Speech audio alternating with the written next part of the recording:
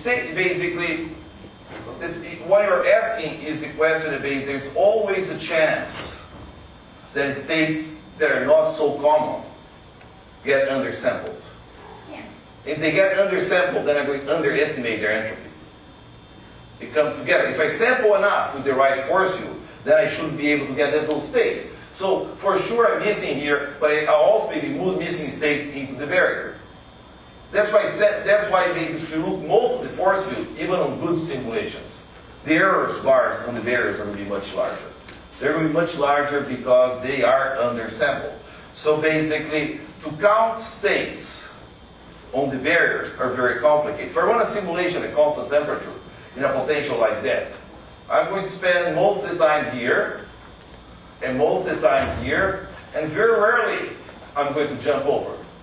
So if I do that very early, only those rare events give me information about the barrier. So there's a good chance that unless I find ways of improving sampling there, that I'm going to do lots of mistakes in there. But that's all. So sampling and getting proper entropy, they come together. And uh, there are other kinds of entropy that can come off that would be from the water, but at least from, from the protein, that's, that's where the problem comes from. Yes,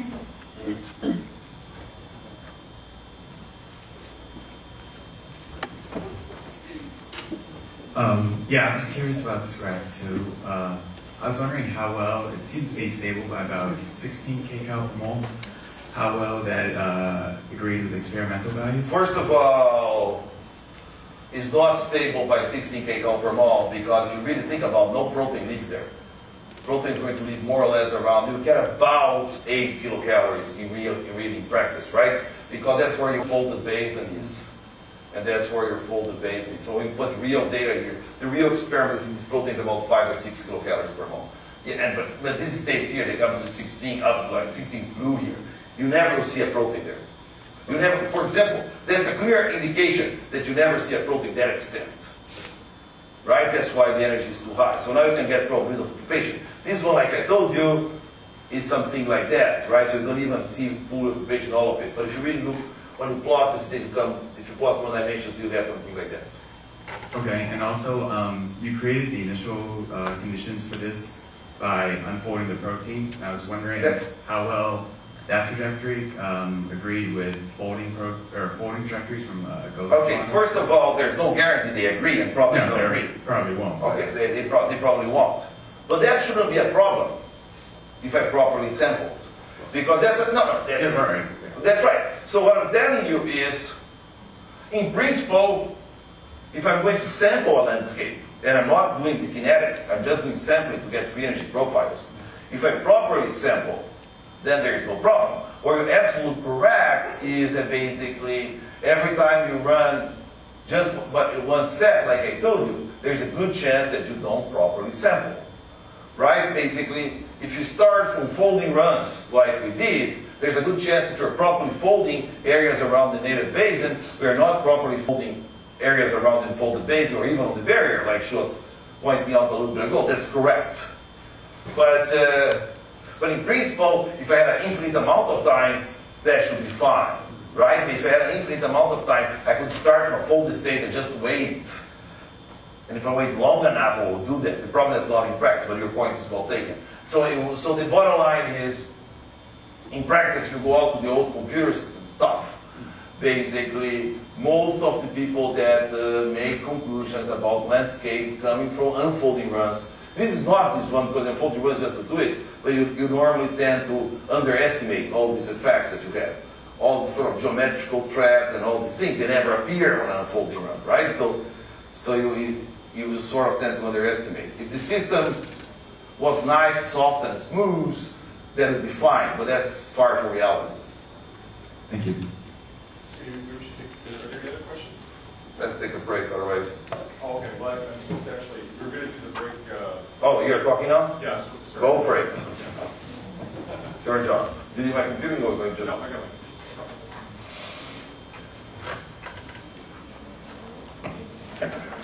I siempre problema.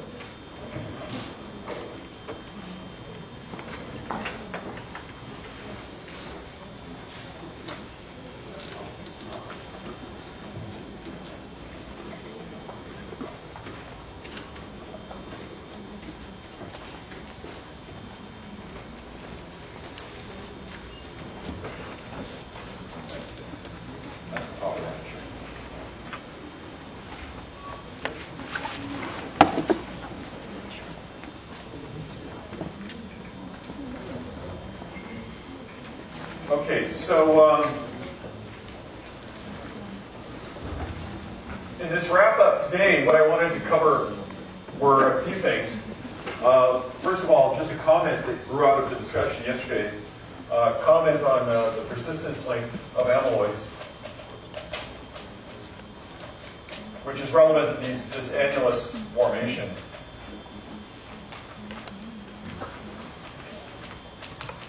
Um, And then um, a little bit more discussion about this, uh, this fiber model we have, because it is illuminating towards some aspects of amyloids that I think are uh, potentially uh, important, both technologically and biologically.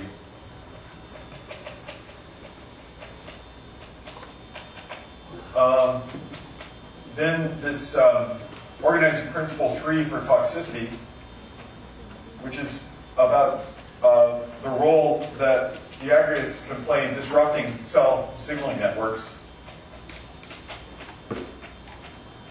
And that will lead me to a little bit of an aside about some numbers on cell signaling networks. And then finally, uh, I'll close with some, what I think are some interesting open questions that perhaps people in here might be interested in exploring. Okay, so uh, first of all, on this, uh, well, let me make sure that it, uh, oops, I should uh, get my computer up here first. Oh, right. Let's see if I was going to do the persistence of comment first.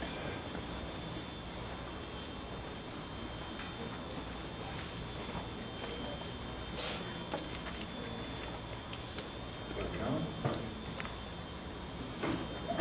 go. Okay. Um, First on the persistence length, there is a, uh, a reference which, uh, there's, there's a number of measurements of persistence lengths for amyloids. Here's a reference that I looked up between yesterday and today. So, um, remind you that what persistence length is for a polymer.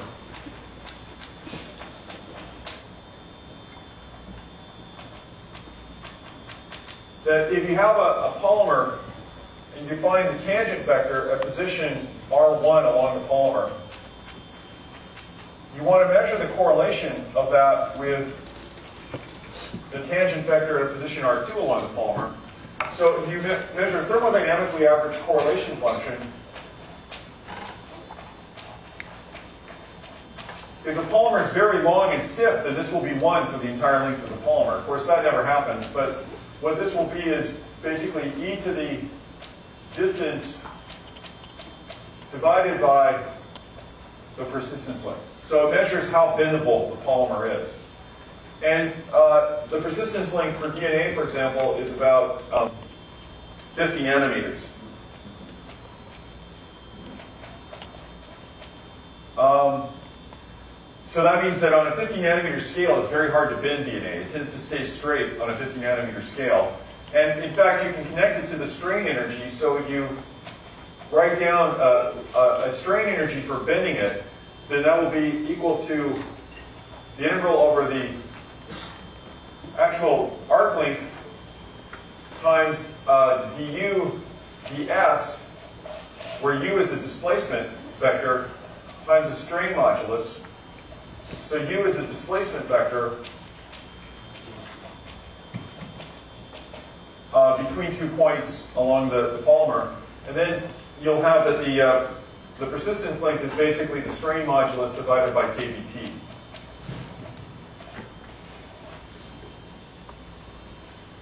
So the stiffer, that makes sense. The stiffer the, uh, the polymer, the higher the strain modulus, the harder it is to bend it and the longer the persistence length. Uh, so uh, for a particular amyloid formed from the protein uh, APOC2, uh, Chris Dobson's lab, this is a paper by DM uh, Hatters in Biophysical Journal. There must be a bigger piece of chalk in here. Let's see. Uh, Biophysical Journal.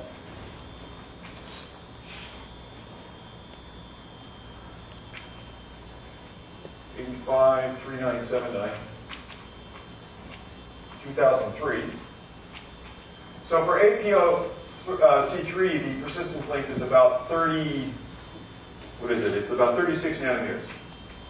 Now, this is representative of a typical amyloid fibril, and indeed, when you form these annuluses with a 2 nanometer inside diameter and a 15 nanometer outside diameter, there's going to be considerable strain energy associated with that. So that's one of the costs of making these, these annuluses that can form the pores. Uh, so this was just a leftover piece of discussion from, from, from yesterday. Um, okay, now I want to go back um, for a minute to the, to the fibril model that, uh, that we have worked on which was to try to explain this spiral data on uh, PRP. Um, and you may recall that uh, we made these separate beta helices out of the C-terminus and the N-terminus. The N-terminal model was already proposed by the Prusiner lab, Prusiner Cohen's labs before. Uh, some version of this was already proposed, and then we're proposing this. Uh, and that we could build these tinker toy models by taking and domain swapping each, again, each one of these is color coded, so we could build tetramers.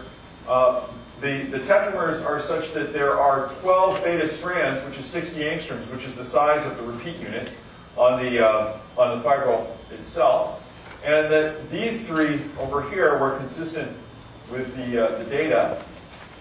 Um, and that they have these domain swaps in between, which explains the thick region in the middle of the electron microscopy. They have beta uh, cross beta structure along these filaments on either side. And then we uh, link the units by domain swapping between the N-terminals with a short linker of five amino acids. This linker is about 20 amino acids going across here. We have a five amino acid linker going across here. Now, um, um, one thing to keep in mind, uh, I'll just mention this a little bit, is there could be some biological relevance to this spiral. I'll just mention this, that in this particular model, uh, the methionine at 129 contacts the aspartic acid at 178. So just keep that in your mind for a minute and we'll come back to that. But uh, one thing you can do is, is uh, here we're proposing a model, so we should check the stability of the model. And uh, let's see, uh, Kay Kunes uh, basically compared, for example, the C-terminal beta helix in black here, this is the RMSD, with all, at, all atom AMBER simulations, uh, with uh, no beta helices off of the protein database. Most of them are clustered down here, but there's a couple of those beta helices from the pro protein database which go up here. And so the point is, uh, this is pretty flat. This is 1500 uh, picoseconds, but we've also run it out to longer times now, basically out to 10 nanoseconds. And the story is the same. Uh, let's see here. The blue one, focus on the blue one. That's the C-terminal Beta helix, again, when you compare it to things from the protein database, it's in the same ballpark and it seems to be relatively stable uh, out to the 10 nanosecond uh, scale. Okay, so now back to this point that for this model, M129 contacts D178. I already talked in the context of this uh, kinetic um, control of prion disease that this the mutation at uh, uh, the point mutation at 178 is uh, what gives rise to fatal familial insomnia. That's all you need, except you need uh, methionine 129. Uh, now, remember that every person has two copies of their chromosome, one from the father and one from the mother. And it turns out that in people of European ancestry, that it's about 50-50 methionine 129 and valine at 129, which is an interesting observation. On the other hand, if you're coming from China or Japan, then you're about 100%, well, high 90% um, methionine 129. And if you look at all the other mammals, when you line up the sequence for this particular residue, it's methionine at this particular amino acid position. So it's pretty interesting that this amino acid uh, right here is necessary for the fatal familial insomnia to work. That is to say, oops, that is to say, you need uh, this amino acid 50 residues away from this position where you have the mutation of aspartic acid to asparagine in order to get this to work. What we were fascinated by is that in this particular fibril model, you can get these things to sit right next to each other. So it suggests the possibility of a me mechanistic interaction between the methionine and the, uh, the uh, mutation. And just to give you an idea of what we're wanting to explore, and this is part of Sunny Dai's uh, work, uh, is um, so we, what we do is we assume basically that the C-terminal beta helix can be stabilized under some conditions, uh, basically conditions of low pH that the C-terminal beta helix can be stabilized. and hypothesized then that the C-terminal beta helix can play the role of the chaperone that we talked about the other day. Let's see, um, the person who asked the question about the chaperone. Mary, there you are. I didn't see Mary. Right, that there's a self-chaperoning, if you will, or a self-templating by the, by the prion itself, and it comes from this possibility of converting the alpha helices to beta helices. So that's something we want to explore. But if you look at the wild type, you have this methionine come in here, and it could potentially be a hydrogen bond between the sulfur on the methionine and an amide on this histidine. But that would be pH dependent because of the histidine. Uh, on the other hand, if the, in the FFI case, you could potentially hydrogen bond the methionine sulfur to both the histidine and to the uh, asparagine over here, the amide group over on the asparagine. So you have the possibility of gaining an extra hydrogen bond in the, in the process. What's interesting is also this story right here. In, in the case of mad cow in England, they, uh, the, the, the, tainted protein product was fed not only to cattle, it was fed to all, all, the other animals too. It was fed to dogs, it was fed to cats, it was fed to zoo animals. Uh, the zoo animals, by and large, got sick. Uh, uh, it was fed to mink. The mink got sick. Um, house cats and big cats got sick. Antelope got sick. Deer did not get sick. Pigs did not get sick. And dogs did not get sick. And if you look at dogs, one interesting thing about dogs is that right in this place, instead of a histidine, there's an arginine. And if you check out the rotamers, that is the orientations of the side chains, to try to arrange for the possibility of hydrogen bonding with the methionine, it's much harder with the arginine than it is with the histidine. So we're trying to explore these three cases as basically examples of intermediates where the templating occurs when this region of the N-terminus couples to the C-terminus uh, over here, and this templating can play a role in the conversion process of the prion disease. But this points to the, to the importance of um, potential pH dependence. And you can see that on these uh, C-terminal beta helical models. These are different threads of the beta helix. We always put these cysteines on the corners of the beta helix, which is a constraint.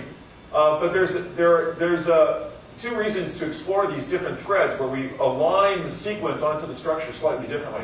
One is that the prion protein um, can be uh, diglycosylated, two sugars attached, to these N-linked asparagines. It can be monoglycosylated or it can be unglycosylated. And the strains, as I mentioned before, pick out different levels of sugars. So you can actually look at the structure with different threads you can arrange to make the asparagines all both point out, which could allow for a strain that would select for diglycosylation um, um, uh, prion protein. One where just one of the asparagines points out, which will allow for monoglycosylated and one for unglycosylated. The other point is that there are these glutamic acids, which I've shown in red here, and it's very hard on any thread to arrange for the glutamic acids to both point, uh, to, to always point out. So that means that to stabilize the thread, you may have to actually have um, low pH, which would protonate the glutamic acid and avoid the charge cost of burying the glutamic acid inside of the, uh, the um, beta helix.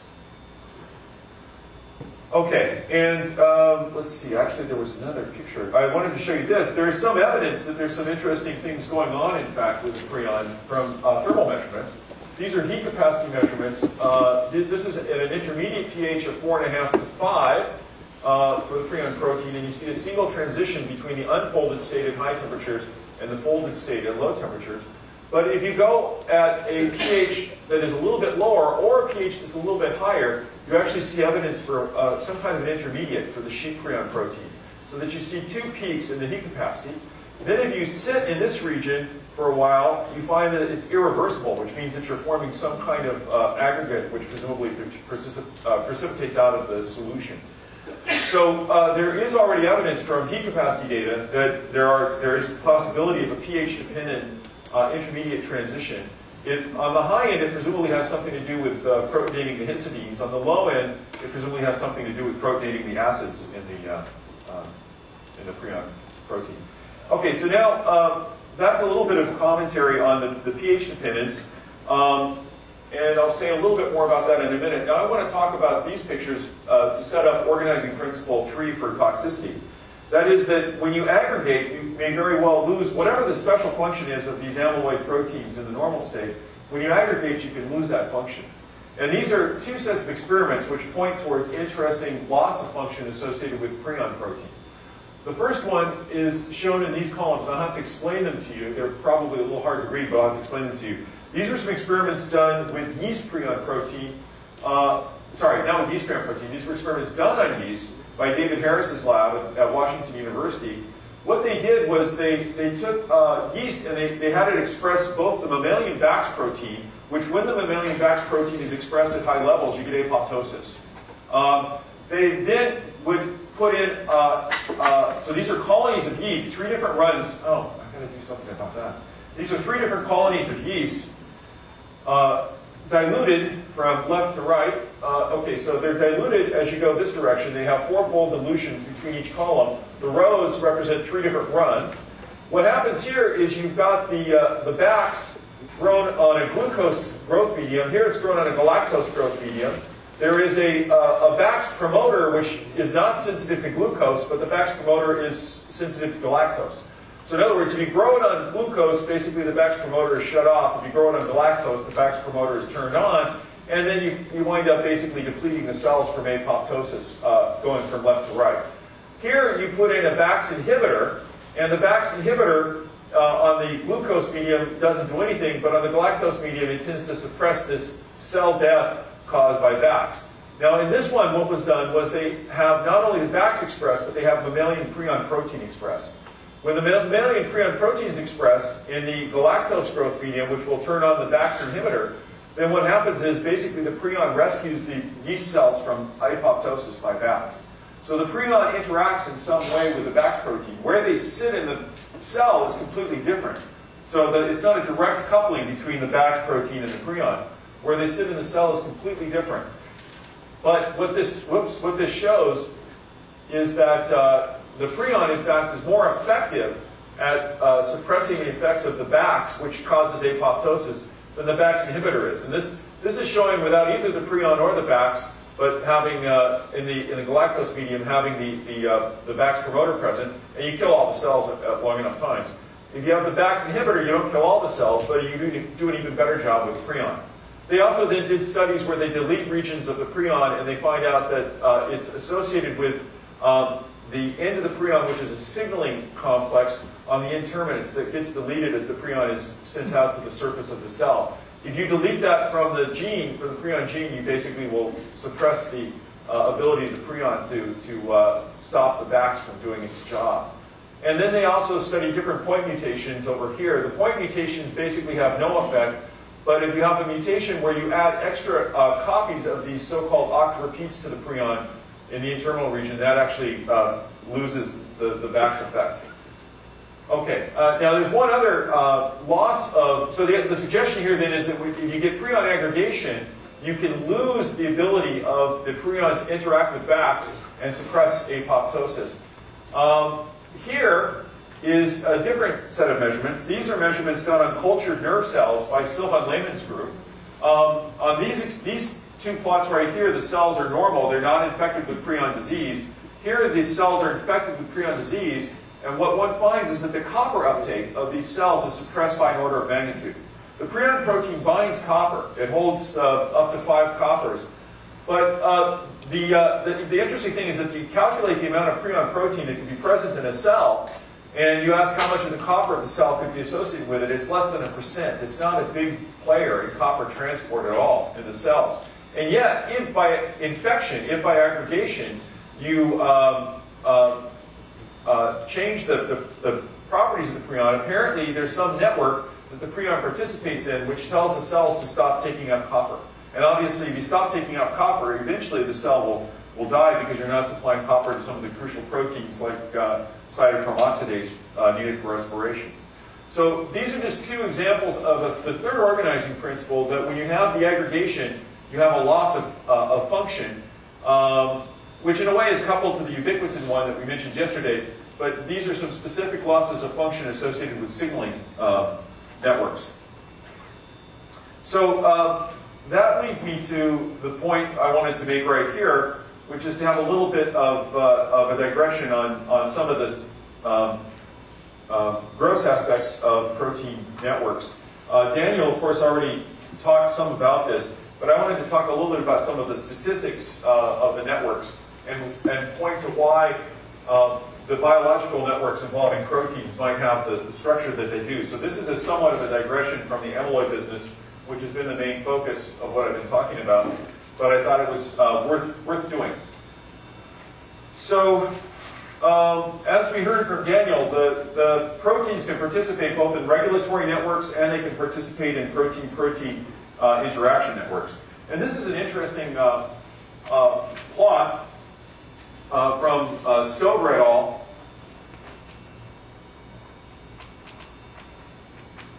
in 2000. Um, so this is a plot of the percent of regulatory proteins in prokaryotes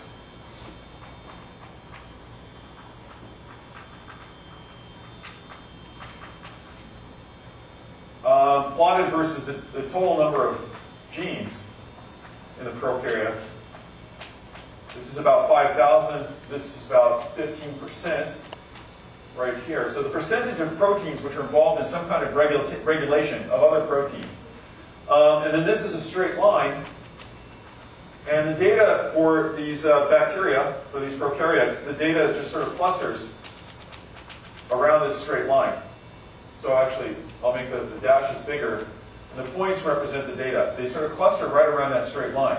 So if you think about that a little bit, given that this is a linear relation between the percentage of regulatory proteins plotted essentially versus the total number of proteins, the number of genes, that tells you that the number of regulatory proteins goes like in squared. Um, on the other hand, if you were to do the same thing for eukaryotes, sorry, this is the total number of proteins that are expressed the total number of genes. You do the same thing for eukaryotes,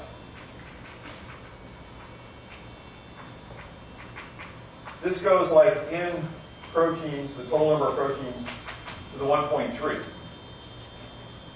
Um, so this is kind of interesting. Why would eukaryotes be so different than prokaryotes? First of all, that's an interesting question. Yeah, just out of curiosity, is there a number for plants much more different than animals? Uh, that I don't know. I just know this is some sort of gross number for all eukaryotes. The, the biggest interesting thing is that it's so different than, than, than prokaryotes. That's, yeah, I don't know for sure about plants. Yeah.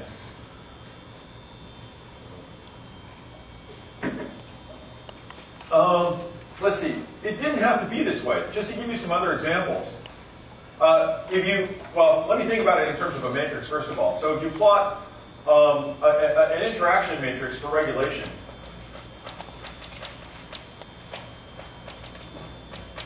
So you have all proteins listed up here, all proteins for particular organism listed here.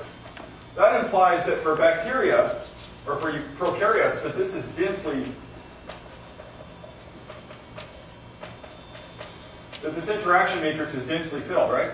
That there certainly will be some zeros in there because you only have about 15% for the biggest uh, genome of a bacteria, only about 15% but that it is densely filled for bacteria. And it's, it's also, in some sense, densely filled for, uh, for eukaryotes, but it's densely filled in a more interesting way. There's sort of a fractal character to the fall off away from the diagonal here for eukaryotes. But it, it didn't have to be this way, right? I mean, suppose that you had a completely modular network. If you had a completely modular network without a lot of connectivity uh, of, of between the proteins, then you have um, sort of, if you draw one of these interaction networks like Daniel drew the other day, you have sort of these isolated nodes.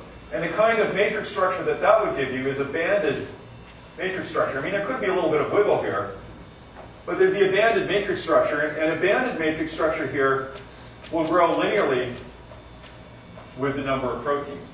So it tells you, obviously, that uh, these things aren't simply modular. They're highly connected, which we know about, for example, from the picture that Daniel showed us. They're extremely highly connected networks. And in addition, um, uh, they're, they're, they're, not, they're not, certainly not, uh, they're certainly not modular, but, well, basically, that's, I mean, that's the interesting thing. They're, they're highly connected. I mean, there's some other possibilities you could consider, but it tells you something interesting about the way that, that life is organized. Um, Okay, now, if you talk about uh, these networks, another thing you can characterize is the distribution. And this is a typical thing that's done in network theory. So you can talk about the distribution. Uh, so this is the, uh, the coordination number in a protein network. So it's the number of links to other proteins from a given protein. So if you draw the, uh, the individual proteins as nodes in the network, this is counting the average, the number of links from a particular one. And then this is the distribution of links.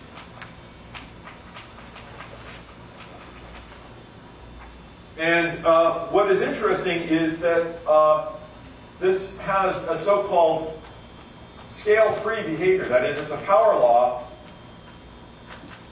in the coordination number, uh, where there's a different power law apparently for protein-protein interaction networks.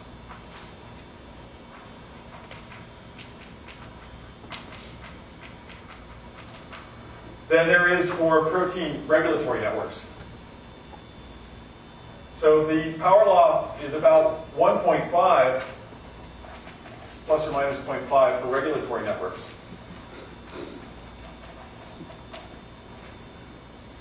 But uh, such scale-free networks uh, are of considerable interest. Other examples of scale-free networks are the internet. Um, and uh, let's see, of course, there's scale-free networks in the, the, six degrees of Kevin Bacon, or the six degrees of, I guess there's also what the, uh, who is the famous uh, Hungarian mathematician, the Erdos index, right? So you can, you can I don't know, there's enough mathematicians to, to get completely scale-free on that. But there are other scale-free networks out there.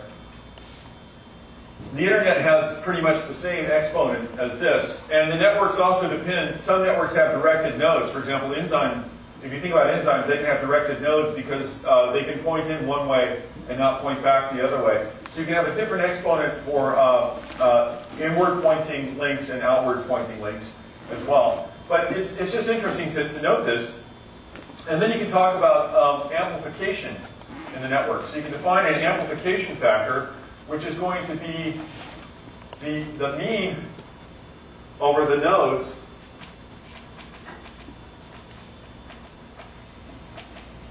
of the inward pointing coordination number times the outward pointing coordination number divided by the mean inward pointing coordination number. And um, this will be a function of the inward pointing coordination number, but if you assume that it's weakly correlated to the inward pointing coordination number, then this will just, you can just drop that functional dependence and go like this right here. Okay, uh, this is ignoring, uh, this definition of the amplification is ignoring correlations with the neighbors.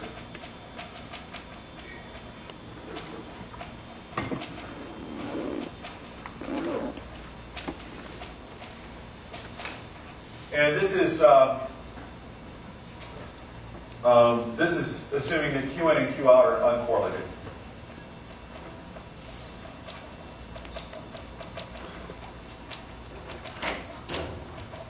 Okay, so um, if you one one uh, limit of this amplification factor is if you take a uh, undirected random net, just to give a feeling for this amplification factor,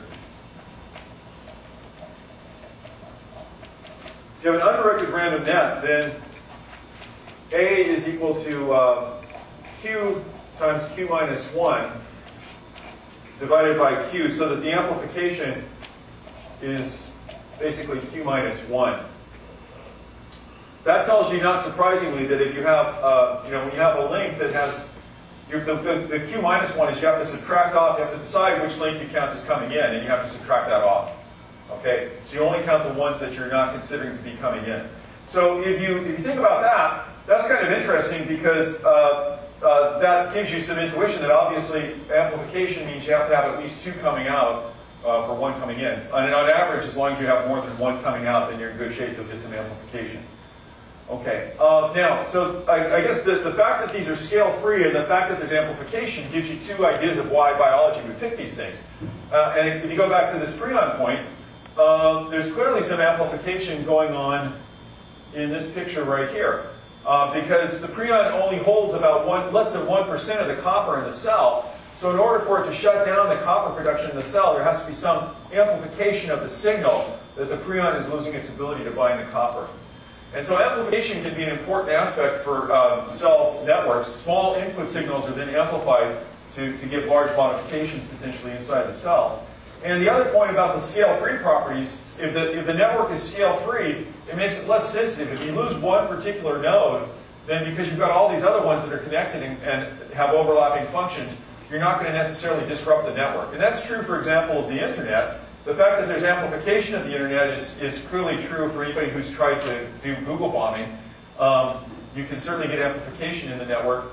The, the fact that there is uh, uh, scale-free behavior in the network means that if you lose one internet site, then you know presumably there's uh, there's other ones. You don't you don't disrupt the internet. But the one problem for the internet is that if you send in a bad signal through the internet, like a virus, the amplification means that you're quickly going to um, have problems throughout the internet. Okay, uh, let's see. Did I want to say anything else about this? Um, just that you can, if you take a scale-free network, you can work out the amplification um, in a couple of cases here. Um, let's see. So in the case of the scale-free, which I'll just do right here, the amplification is going to be the integral from 1 to the total number of nodes, dq q squared over q to the gamma. This is assuming uh, a uh, undirected network, and uh, we ignore the correlations between uh, the incoming and outgoing. So this is q squared divided by q to the gamma over the integral from 1 to n dq q over q to the gamma. And that's equal to um, 1 over, uh, sorry, that's equal to uh, 2 minus gamma divided by 3 minus gamma um, times n the 3 minus gamma, at least if you have uh, 2 less than gamma less than 3, which is the case for the protein-protein interaction network and for the, uh, the internet. Okay, uh, so it, you get some interesting amplifications that can be uh, growing within if you are uh, in, in this region, and also, in fact, if gamma is less than 2, you also can get big amplifications that grow within. Whereas the amplifications lose this large scale dependence on the, the network once the scale-free exponent gets bigger than 3. And if you're interested in more, there's a very good review article by one of the sort of kings of network theory, Barabasi, in RevMod from 2001. Uh, he, in particular, with Albert, was able to come up with a model for growth of a network that could give you the scale-free behavior with an exponent of 3, precisely 3. Okay, so uh, I, I, in the last few minutes, I just want to show you a few more. I want to step back to the, to the protein aggregation problem and show you a few more interesting things uh, about amyloids. One is that for some organisms, amyloids can actually be good. Um, and here are two examples uh, right here. Uh, the first one is uh, curli. These are these protein tendrils that come off of E. coli or Salmonella. And uh, these protein tendrils come out in times of stress when the bacteria may want to form colonies, come together to uh, protect against stress. And in the first stage of colony formation, apparently they sort of connect to each other with a combination of cellulose and uh, the curli fibrils. Um, okay, so they, they, they, connect to each other with a combination of the cellulose and the curli fibrils. Uh, this is another uh, example of amyloid, spider silk. Now, there's not just one kind of spider silk. For different spiders, there's up to six different kinds of spider silk. And there's two main differences in spider silk. There's the spider silk that makes up the, the web that catches the insects, and there's the spider silk that the spider itself uses to sort of move around. And the spider silk that this, the spider itself hangs onto to move around has a tensile strength which is better than steel. It turns out that the main proteins involved in spider silk are amyloid proteins. And about 25% of the 25% uh, uh of the protein involved in the spider silk that the spider itself hangs onto is of amyloid structure. It's been studied with crystallography and it's of amyloid structure. And then about 75% of it is actually some uh, random loops. So somehow the mechanical properties of spider silk are uh, composite mechanical properties associated with these amyloid crystals hooked together through these protein loops, these random protein loops. Uh, the pH control that I alluded to in the prion case seems to come in in the spider silk. When the spider ejects the proteins first from its uh, from the orify that produced the glands that produce this, that spider silk comes in first uh, without amyloid structure. Then it comes downstream, gets a little uh, jolt of acid pH conditions, lowers the pH to about, I think, 5.5 or 6. And under those acidic conditions, you actually form the amyloid uh, uh, crystalline, the, the amyloid parts of the spider silk. So the amyloid is not the whole story on the spider silk, but the amyloid is a big part of the story on the spider silk. And how the spider silk uh, mechanically works is still an open question.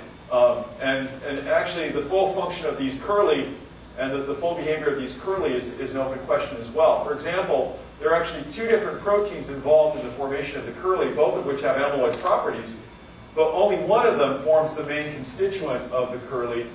Uh, the other one, uh, geez, the other one sits on the surface and templates the growth of the, the, the rest of the fibrils. So there's a, another interesting templating problem for growth of, of amyloid fibrils on the surface of these bacteria. Um, there are also other interesting suggestions out there. We've already heard about yeast and how non-Mendelian heredity can be conferred in yeast.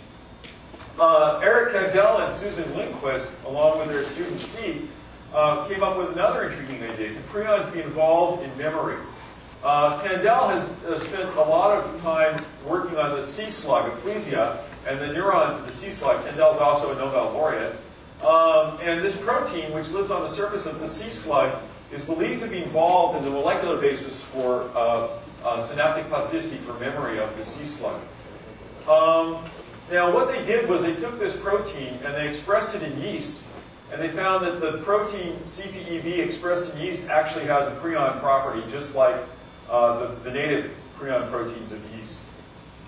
So uh, their suggestion is that perhaps if you could find a way to reversibly go between the sort of one bad conformation, if you will, of prion and the good conformation, that that could give you sort of a one and zero for a molecular basis of memory. Uh, it's a long ways to go from showing that it is uh, giving you a prion in yeast to, to showing you this, but it is an interesting uh, suggestion. Let me uh, show you something else on amyloids that's just come up recently, and some of you may have seen this. Um, let me see here. Yes. So um, it turns out that there is a protein which is expressed in semen. Um, there's a protein which is expressed in semen which binds the HIV virus. And it in, apparently increases the efficacy of HIV infection dramatically.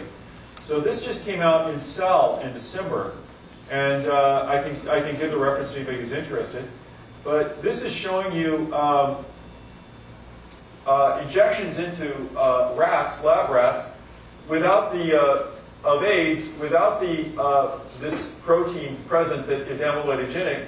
This is showing you the uh, in injection into rats with a protein present, which is amyloidogenic, and you can see that the infection rates of the lab rats have gone up dramatically. So apparently, this amyloid protein provides uh, interacts with the AIDS virus and provides some kind of scaffolding which allows the virus to stick around longer and thereby increase the infectivity. And this could have certainly public health significance um, uh, and explain partly why uh, there seems to be this greater transmission from men to women than the other way around. Uh, and so this is an area that, that is unexplored uh, as well, apart from these initial studies. Uh, for example, no one knows at all what model to make for, for the fibrils of this, this protein fragment. Okay, so I wanted to just leave you with a, a, few of these interesting questions. I'm sure we'll find more amyloid diseases associated with these proteins. I'm sure as, as people keep looking, we'll find more examples of actual functionality or uh, surprising dysfunctionality associated with these amyloid proteins. But uh, hopefully, at least from these lectures, you've gotten some, uh, some ideas about um, how this all works. And maybe I'll just throw it open for, for some questions.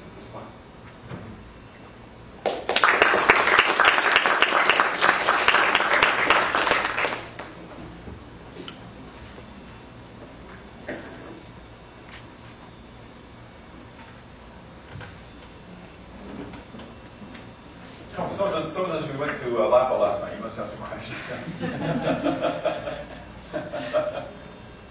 you just show the reference to this paper and the paper you mentioned before on networks? Uh, yes. The, yeah. This. Let me let me show the first page on this paper so you can just read it off. Uh, this one was in Cell. Let's see here. There you go. That one's in Cell. You want to write that down? And let me find the, uh, the uh, network paper. Just a second. You got that one? Yeah. let me find the, the uh, network paper. Uh, let's see, it's,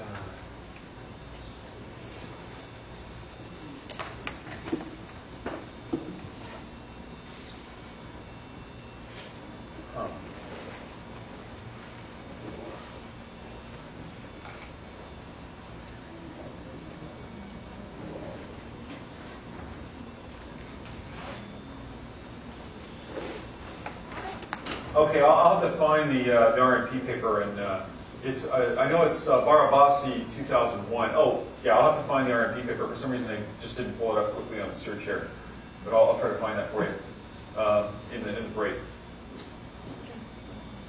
Any other questions? Okay, well, we go to the break early then. Thanks.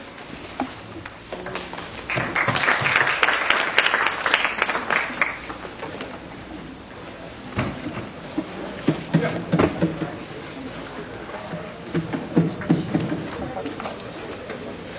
Some of them are going to be direct, sorry, some of them are going to be direct people interactions, and some will be, like in the case of the back, we agree on it. On the way out, have extra days at the hotel that are not being picked up by the conference. If they are associated with the, um, your airline travel, in other words, it- it's not just that you want to hang out in Rio for a couple of extra days, we'll happily uh, reimburse you, so make sure that you keep your receipt for that. There was apparently some misunderstanding with the hotel desk that the charge would be uh, $400 a night. It won't be. You can get the same rate, uh, um, I'm assured by Lisa, of $145 a night. So if there's any confusion about that, please talk to Lisa. But we will reimburse you for any extra nights you have associated with the, the travel to or from Rio in order to get the less expensive air tickets, okay? Any other questions about that aspect or, or other logistics of the meeting before we move on?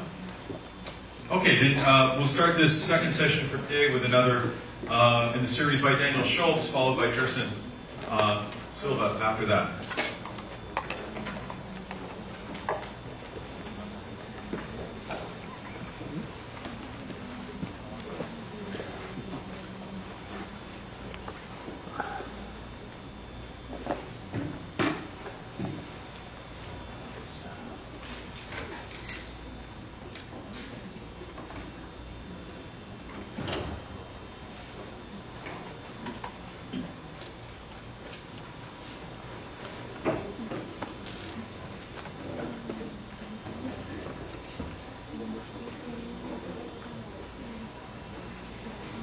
Go ahead.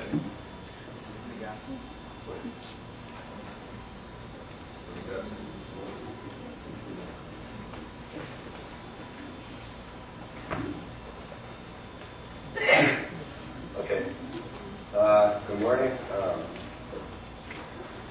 uh, So this is the last one. Uh, Well, in the first, uh, first section, we, um, we talked uh, about biological aspects of of what you see in uh, regulatory networks. Then on the second one, we saw something that was not that much related to biology, more like the mathematical tools that we use. Um, and on this third one, we're actually going to put both of those together and use uh, use those tools to see something that actually does happen in, in, a, in a living organism. Uh, we're we're going to be talking about competence in, uh, subtilis uh, bacteria. So um, this is a colony of, of B subtilis, and uh, you see that the there's uh, three types of cells there. They're on uh, sta- uh, stationary growth. They're in a stationary phase. That's uh, under limited uh, nutrients. And when those uh, when those cells are under uh, under limited nutrient uh, condition, they sorry. okay they uh, they have this decision to make. Um, eventually, all cells end up going into sporulation. So uh, there's no food, and uh, the, the, the cells realize they're going to die. So what do they do? They, um, eventually, they uh, end up uh, having this asymmetric cell division, and they, they form a, a spore that's uh, it's dry and uh, has this hydrophobic coating, and it's very resistant, can live for thousands of years. But before they make that commitment to sporulation, there's a window in which some of the cells show this uh, competence behavior. Um, the competence is regulated by this uh, by, by one protein, by this one master regulation uh, regulator that's uh, stained in this case over here with a uh, with a red fluorescent protein. So this this uh, red cells are the are the competence cells, and you can see that only a few of them do that. I can tell you why. Um, so the cells that go into competence, they go into competence for a while, and then they come back to the vegetative state, and they are free to um, go into sporulation if they, if they want to. Um, there's a, let's do it, well, talk about, well, okay. We're going to talk more about what competence actually is in the next slide, but competence is a state where the cell can uh, basically uh, absorb uh, DNA from the meat, any kind of DNA. Um, that has a, a lot of, huh? Big results. Yeah. And that's why not all cells go into competence. When, when the cell goes into competence, basically what, what, what it does also uh, expresses some uh, antibiotics that kills other cells around and eat their DNA. Um, that can serve as food or it's like a sex cycle before they go into sporulation. And that's why you can't have all cells doing that. Right? So only a, only a few of the cells do that. And this is an isogenic population, so all cells have the same DNA. And only a few of them do that. So that's why uh, this, uh, this depends on fluctuations inside the cell. And that's why this is really interesting. Uh, there's a, there's a movie of, uh, some growing, some of them go into spor- uh, to sporulation, and one of them decides to be competent then comes back from competence and then divides and then goes back into the the the, the vegetative state, which is the, these dark ones. Daniel, show exactly what is good. Well, the one that's going into competence is the the, the colorful one. Yeah, and then it comes back from competence, and you can see that it goes back to the dark. The divide, right? So it- when it comes back, it's back to vegetative state, and it can divide. Um, okay, so uh, all, all these cells have the same DNA as a, as a genetic population, and still like only five to ten percent maximum under under uh, perfect conditions. Only five to ten percent of the cells go into competence. Then uh, these cells uh, kill other cells around and eat their DNA. Right? Uh, so so this really stresses the importance of, of, of noise and fluctuations in this in this process um, because uh, since they're all in the same and they all have the same DNA, this uh, this can only uh, arise from uh, fluctuations in the cell components associated with this. Uh, so okay, so it, it, this uh, this this there's this one uh, master regula- uh, regulatory protein uh, for competence, and this protein is expressed it, uh, it activates all these uh, lots of genes um, that change a lot of a lot of things inside the cell that make the cell able to to absorb its DNA.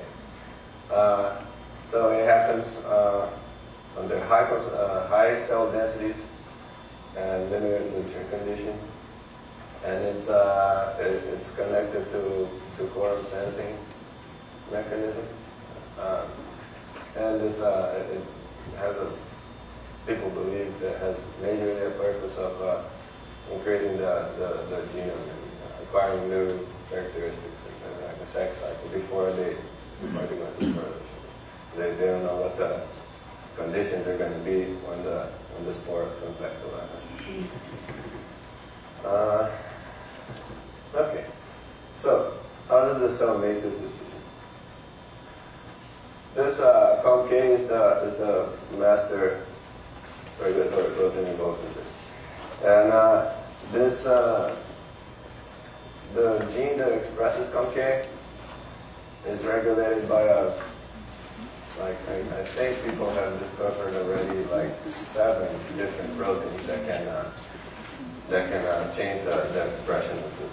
Seven binding sites of transcription, transcription factors for this uh, ComK. But there's been studies that, uh, where people mutated all of this, mutated out all of these binding sites except for the one of ComK cells. So ComK uh, stimulates it, uh, it, itself, right?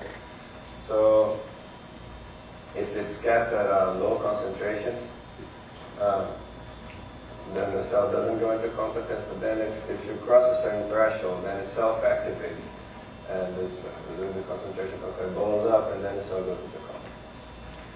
Um, so usually, this uh, the concentration of ComK is kept low by this uh, by this degradation complex. It's a, it's a complex of uh, a bunch of proteins that uh, has the function of, of degrading some uh, degrading these targets and it can keep keep and that happens really fast.